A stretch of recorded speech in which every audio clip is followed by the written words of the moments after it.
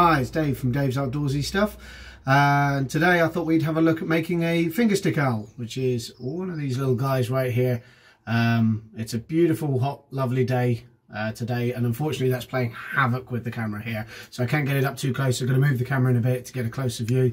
But to carve one of these little guys, all you're going to need is a stick about the size of your finger, which hence the fingerstick owl.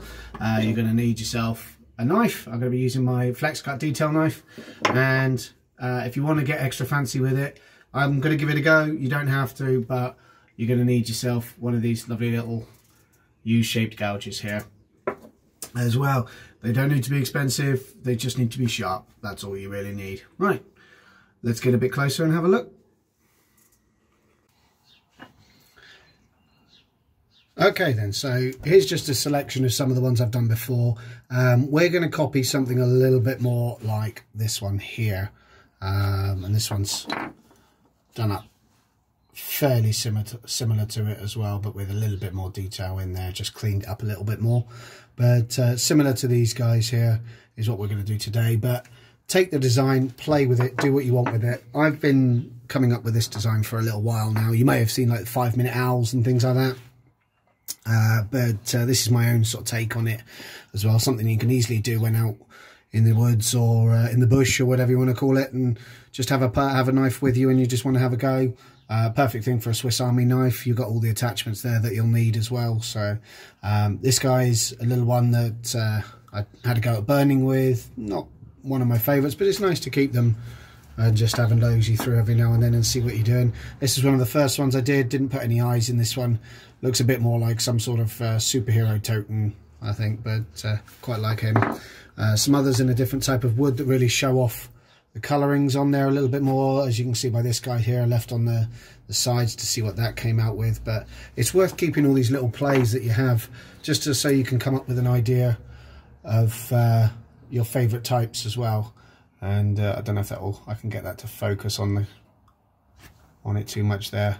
Ah there we go. But there's a nice little tiny one uh, there that I had a bit of a go at as well so but ideally as well what I've found is a, a stick size about the size of your finger or so similar sort of width similar sort of size and that is what is going to really help you out on that one right so as I said you're going to need your knife I'm going to be using a Flexcut detail knife you're going to need a gouge. This is a, a small U-shaped gouge and that's going to help us get those little patterns of the feathers on the front there. Um, and then uh, to really bring that out as well, uh, you're going to need some of this, which is basically the rubbish left over from your tea bags at the bottom of the pot. Collect it up. It's great for kolrosing, which is the technique we're going to use there and really bringing out the colour. And then the last thing, something small, sharp and pointy just to help with some of the eyes there as well. Again, you can use the end of your knife, but I tend to go a little bit wrong every now and then with that. As you can tell with my detail knife, I broke the tip off while ago and rounded the edge instead. So keeps it a bit stronger, but you do lose that versatility a little bit as well there. Okay, so let's give this a go, shall we? Okay then, right, we're going to start off by sorting out the top of the head there and really rounding that off. So first of all, you want to get in a slow sweeping cut from about knife width or so there, but round about a centimetre. Um, or about half an inch if you're American and um, you go by inches instead of centimetres. Really, to be honest, I go I prefer to go by inches myself a lot of the time, but centimetre seems to ring true on this one for me. And as you can see I'm doing it on both sides there so I'm really coming in quite symmetrical with it at the moment. That will change over time so don't worry about making it too neat and you want it to just get into the pith in the middle. And obviously every wood is a little bit different by the thickness of the pith. Even every every different tree is different. But you want it around about that sort of distance as well in there. Okay now what we're going to do is slowly bring it in into the middle, creating that small curve, that characteristic eared look that you get of the owl. Now obviously, being a fresh green wood, the pith is going to be really, really, really spongy, especially on this, piece of sycamore. I wouldn't recommend carving sycamore when it is dry. You may as well try and carve a piece of granite.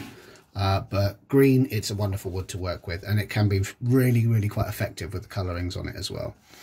Okay, so that's about as far as I'm going to go on that one just yet. Now, obviously, what I'm going to do with this as well is there is a lot of neatening up if you want it to look pretty and everything else, but we'll do that. I'll do that off of camera. Um, we'll just get the basics in here because that's just easy stuff. That's just playing and fiddling around with it afterwards.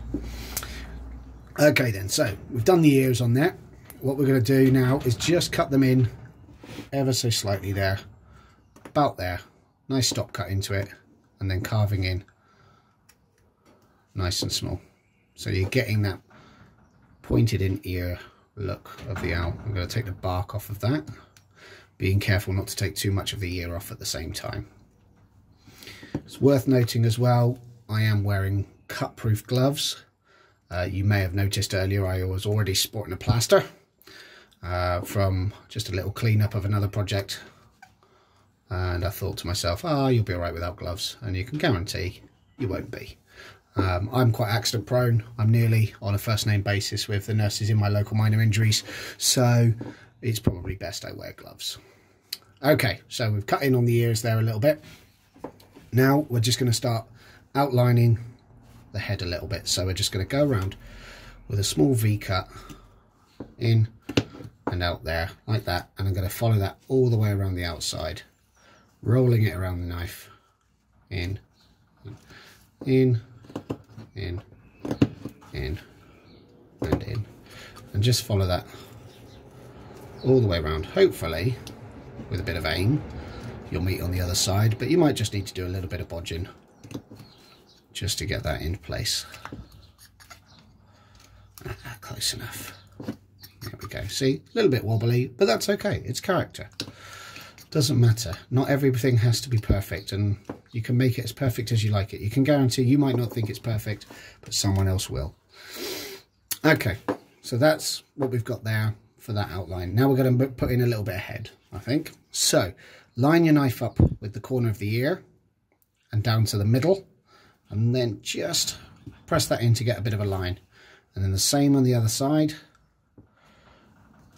And you have very lightly made a line there where your beak and the brow of the owl is going to go. So now you just want to undercut it just a tad. You're gonna we're gonna go back in in a little while and neaten that up. And you're going to do the same on the other side, turning it around because that's the way I prefer to do it rather than slip and cut myself. I mean, cut resistant gloves do as they say, but they're not fantastic against the odd stabbing. So, okay. So we've got a nice V in there as well. Kind of looks a bit foxy at the moment, but don't worry. We will turn that more into an L. Okay, now I'm going to go around. You can leave the bark on if you want, but over time I've just grown to really prefer to have the bark off there and only really have the bark on the wings. But who knows, in a year's time after doing a few more of these, I might decide I want the bark to stay on. You never know and you can apply this sort of principle to any size. It's a great starting block. If you wanted to do something far more detailed, it's a starting block, something you can do. If you're just doing it as a little whittle round a campfire, anything like that, then it's just a bit of fun to do. All it's got to do is look somewhat like the original, what it's meant to be. Okay, so that's the beginning of the head. Now, we want to go about the head's width down again, and then at a slight angle from the middle we're just going to roll it in there, another tight one, and then undercut it in there as well. Okay, just like that. And then the same on the other side. Now, I won't say I'm going to get this perfect first time because that's going to jinx it. There you go, saying that. I've already just said it. But when you, if you get the angles right on both sides, you should have the tail in spot on the right place on the back. Doesn't matter if you get it wrong because we are going to cut all of this out from underneath anyway to make it look like it's perched on top of a, a tree branch. So what we're going to do now is just carry this round to the back.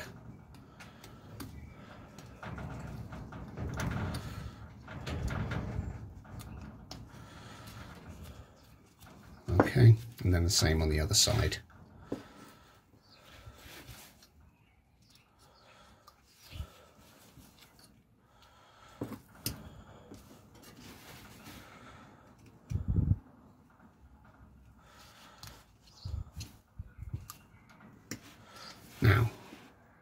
That's almost there. That's almost centre, but it's not quite.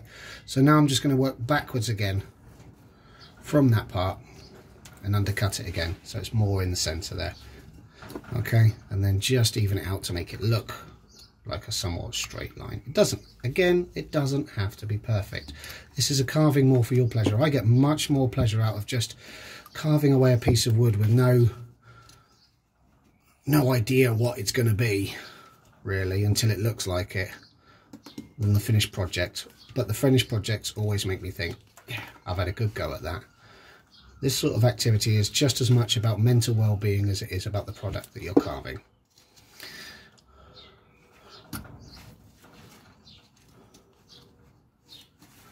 There we go so all I'm doing now is taking it off around the bottom there so that we've got an idea of where our log is going to start and then where it's going to go to the owl. We're going to cut that out a lot more in a minute, but this is where we are at at the moment.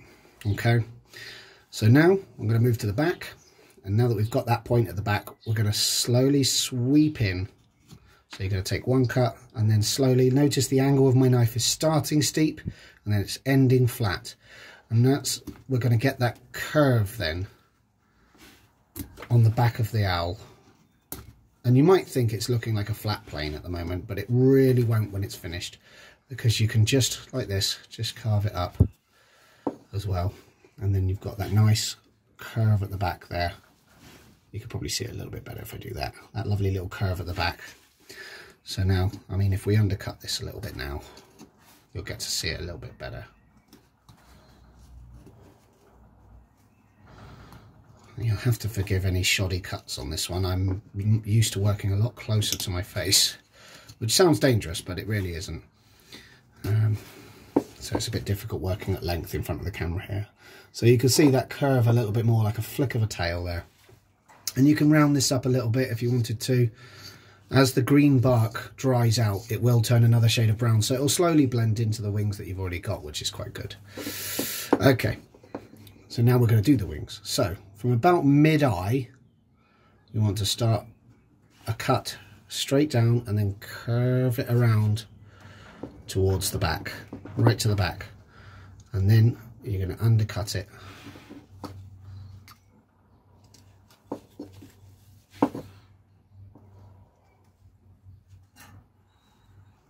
Like that. You might want to just put a little bit of a stop in the top there as well just to stop the bark peeling away in front of you. Because that will be disappointing if you're trying to keep certain bark on and then the rest just disappears right in front of you. Okay. Like that. Again a bit rough at the moment but don't worry we will clear that up. Just like this. So we're just going to take that bit of bark off. Like that. And then the same on the other side about the middle of the eye. We're going to go in and bring it right round. You're going to have to forgive my camera angles on this one. It's my first carving video. I'm not sure how this all sets up. I've done it as best as I can in my little shed here, but hey ho, we're all learning together. Okay. There we go, see? Now we're going to bring that cut up as well. So that just comes off. And then again, the same, taking the bark off of the owl there.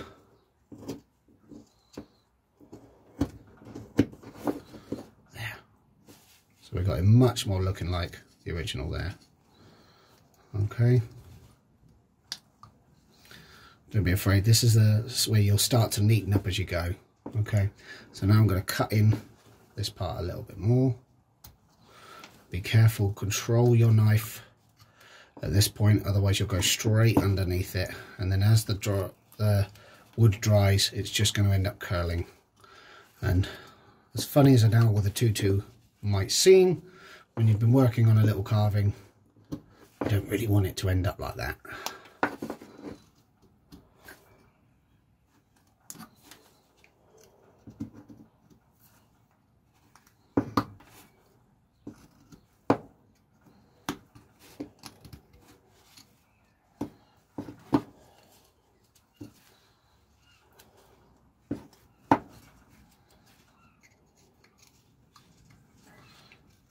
Yeah. The weather here since lockdown has been absolutely amazing. Almost too hot. But hey, such as life goes. Right, so we've got a little bit more on that one there. When I go to cleaning everything up, I'm going to take that off a little bit more and make it look like it's on a bit of a smaller perch there. Now, I'm going to slowly get rid of some of the green on here because as it dries a tiny bit from the fresh cut, you'll start to see it come up a little bit more so you know how deep to the bark you've gone. Now, there's two ways of really getting this off. You could just use the edge of your knife and scrape it off, but then you do risk some of the fuzzies coming up as well with that. So personally, I prefer to cut, but each to their own. Everyone's different. You'll find, if you're new to carving, you'll find your favourites and what you prefer to do and not prefer to do. Okay, so I'm going to go back to the eyes now, and we're going to define this beak a little bit more. I'm just going to come in very finely. I'm going to show you, try and get in as close as I can here, just to show you how deep I'm actually going. But it's barely anything really. Like a tiny wafer thin piece of cheese. There. And this is where your knife being sharp really comes in. It stops any fuzzies coming in you got nice clean cuts. The first time so you know what's going on there. And then same on the other side from the bottom of the beak and up. So it's like a curved recess right from the tip of the beak right up. And as you can see I'm showing some really bad habits here running my knife against the edge of my glove. Don't do that. Do as I say don't do as I do as it were. That is terribly bad habit of mine but actually that probably explains to you why I've had so many trips to minor injuries okay so put the knife down for now that's the basics Really? That's all we need to do to get the basic shape. And then that's just going to be neatening up, defining the lines a little bit more afterwards. But that's basically the basics there. Now, you can tell that's an owl. That's nice and easy. So if you want to have a bit of a more of a play though, we'll put in some more, some eyes with our awl. Some people call it a bradawl. Basically, it's just a big metal pointy stick. Now we're going to aim for the eyes. Just jab that in right there. On one side, and the same on the other. And then you won't see it too much like that, but then if you just grab a pencil, just run the pencil on the inside of it, or a piece of charcoal from a fire, whatever you've got, that just really picks them out that little bit more there. Now, as for the feathers and a bit of Kolrosing here now, trick I've found with this sort of thing is, is you, you do tend to miss an awful lot when it comes to getting a straight line. So from the beak down to the, the fluff there, I'm just going to draw a straight line. And that is going to give us, only lightly, because I need to scrape it off again afterwards or sand it off. But that's going to give me a centre line now that I can go by. And hopefully stop me from getting it all wrong. Then all I'm going to do, I'm not wiggling, I'm not gouging, I'm just jabbing it in to get the outline straight in. Give it a wiggle side to side to make sure it's in deep and then back out again. And then the same on the other side matching the middle there. And then I'm going to do it again. And again. And I'm going to keep going all the way down. And although you can probably barely see that on there right now other than what looks like a tiny bit of fluff coming up when we put that tea the leftover tea in there that's when you'll really see the difference. Now, I've gotten down to the bottom here, so I'm going to do one just off centre on that side, I think, and one just off centre on that side. Now, I'm going to take my gloves off because it is much easier to do without. And, oh, lost my plaster on the inside of my gloves. Oh well, right. You're going to get the tea, and then all you're going to do is just sprinkle it on. Now, of course, the wood is still a green wood, so it's going to stick in some places to the rest of it. Don't worry about that, because that's where a trusty little brush comes out. And then all I'm doing now is I'm really rubbing it in to those holes we've just made. and then blow it all off. And then we've got something a little bit more like that. So it really shows off that those lines a bit more. And that's your first introduction to kolrosing there. Obviously people use it in a lot more fancier settings, fancier ways, but that's just a bit of fun you can have to really show off a little bit of detail there just for a bit of fun. And the more you work with it, the better you're going to get there. Okay, so let's, uh, what I'm going to do now then is I'm going to do some neatening up. going to ease up these edges a little bit, tighten it in, bring in the head a little bit more, pull this in, and then we can have a look at the finished thing when it's all done. Okay, so we're all finished. So all I've done there is, you might be able to see I've just rounded the edges a little bit there. Obviously I've taken this in a lot further there as well. I've uh, deepened in the kolrosing there the in the centre and I've really defined the cuts in there. I do apologise about the focusing on my camera here. Um, I've gone in a little bit more there and I've just generally neatened and tidied it up a little bit more. But there it is, all finished as well. As with before, and as always on most YouTube videos, they always say, you know, please do like and share uh, my channel.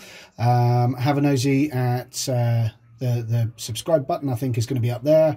And then I think up there, we'll have uh, a link to my last video all about sharpening your knives and keeping everything uh, clean and lovely. If it's not up there, it might be something else. It might be the future, and I've done a few more, but here we go. Thanks very much, everyone. Any comments would be hugely appreciated. Obviously, no trolling, but any uh, constructive feedback would be amazing. Cheers. Bye.